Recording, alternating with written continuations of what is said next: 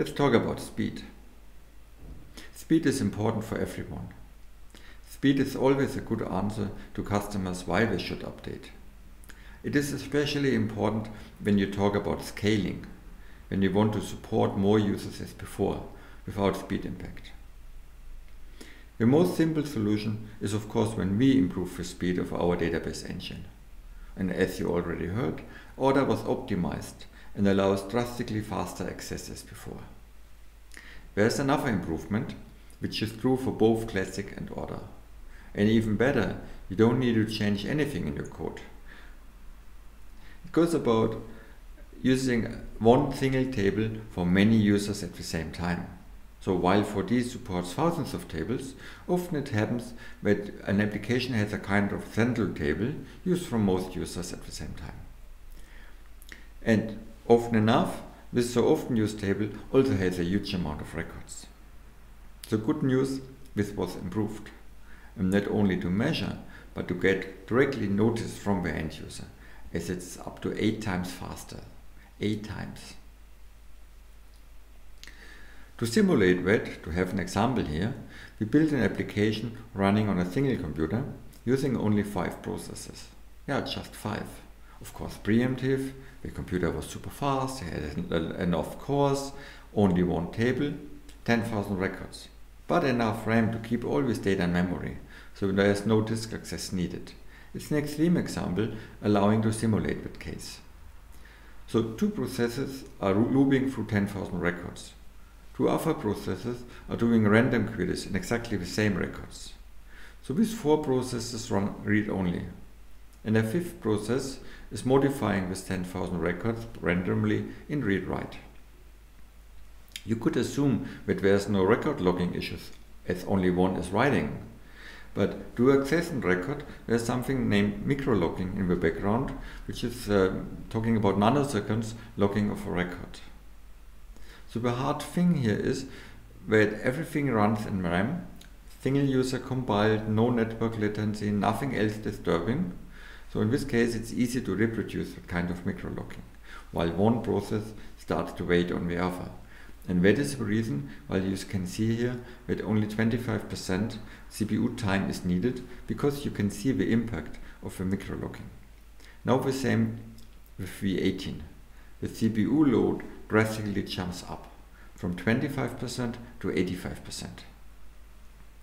It looks strange on first view. You might think higher CPU load is bad, but the load is higher because more records per second are handled. The load is higher because everything runs faster. Less waiting, so of course higher load. In real life, it depends on the network speed and how many users you have. And as more users access a single table and as faster your network and your disk is, the more you will see the impact. So depending on your how your application works, this could have a major change for your users. Another way to speed up your system is to purchase a more powerful CPU.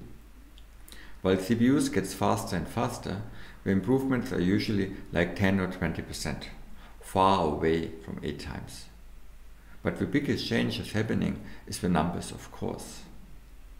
The numbers of cores increase drastically.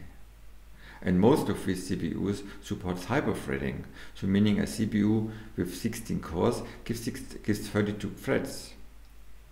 Starting slowly with two cores, more every three years, but drastically changed 2007 and 2019.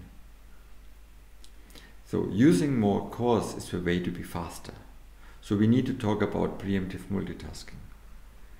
We started to talk about with V16 and we improved it with 17 and improved even more with 18. The web server is already thread safe since V16, but we now also added web service server. And not just the server, also the client. If you need to provide a service for others, or you need to consume a service. Both can now run on a CPU core, keeping your main thread idle. The SQL Server is thread safe since V11. Nothing new.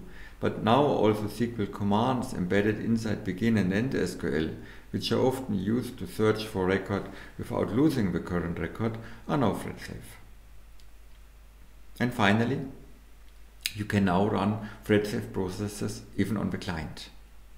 As these days even notebooks have 4 or 8 cores, it makes sense to use them to move processes creating reports or statistics to another core, to have a main core more responsive. In this list, disable checking sounds a little bit strange. Why do you want to disable the checking? So let me explain. Imagine you have a method to update customer data, which can run on a client with user interface and on the server without user interface. In case of an error, with an interface you want to display a dialog, while on the server you just want to write an entry in a log file. On the client you don't care so much for speed because there's only one user, but the server could handle a lot of users, so it needs to be run preemptive.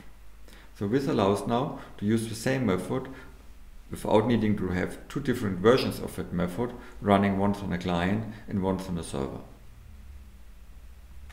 So we also had requests for more commands to be thread safe and here we are, a huge list. And as long the list is, sooner or later you will run into a command or a plugin which you need to run in a thread safe command, but in a thread safe process, but the command is not thread safe. So the last feature is to allow to do that. New signal. New signal is a very powerful and still easy to use command. It acts a little bit like a semaphore, but it's much more advanced. A thread-safe process creates a signal and passes it to a non-thread-safe worker doing real job. When it calls wait, the thread freezes here. Zero CPU time needed. Remember, we talk about native OS threads. It is simply not executed anymore at all, no time wasted. As soon the cooperative process finishes the job, it calls trigger and wait awakes the thread. Now and only now it gets CPU time again. No polling, no wasting of CPU time by checking are you ready is extremely efficient. And interesting enough, Signal even carries parameters. It allows to pass values to the worker and to return the result of a calculation. To summary, when using workers or processes, New Signal is a very helpful feature to delegate work and wait for a result. So, optimization in database engine will make any application faster, which uses heavily a single table. Optimization in ORDA will make any application faster using ORDA. A new feature for preemptive allows you to use more modern CPUs better to make both server and client faster and allow you to scale. Now passing to Ed from 4D US. Thanks.